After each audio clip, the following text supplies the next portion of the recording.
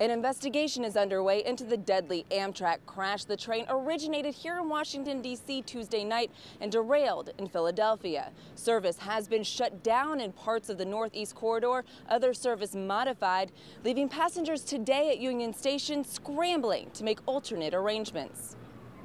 Today, authorities are sorting through the twisted remains of Northeast Regional Train 188 to determine what went wrong when it derailed in Philadelphia around 9:30 Tuesday night, killing 7 passengers and injuring hundreds of others.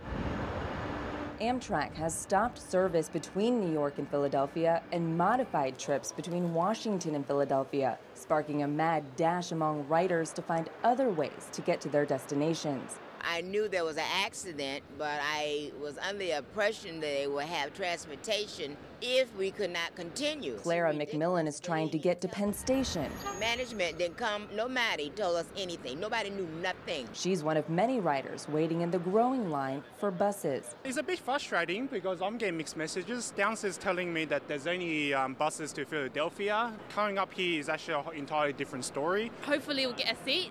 Hopefully we um, can make it to New York tonight somehow. At Union Station, some commuters like Ella Council have been stranded for hours. I'm going crazy. I'm getting hungry. I want to go home. Somehow I didn't get any messages this morning, so now I'm checked out in my hotel. Despite their frustrations, passengers express sympathies for the victims. My condolences to all the victims out there. Um, we feel for them.